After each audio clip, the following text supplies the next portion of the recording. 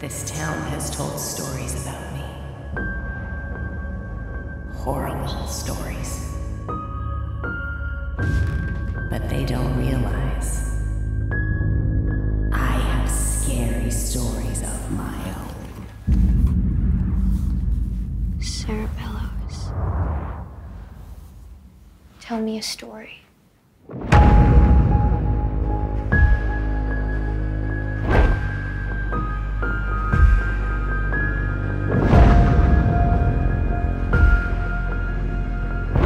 Sarah Bellows' book, where the stories write themselves and it all comes alive.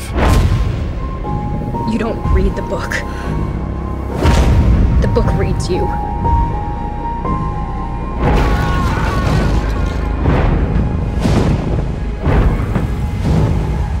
I'm afraid I'm gonna die, Dad.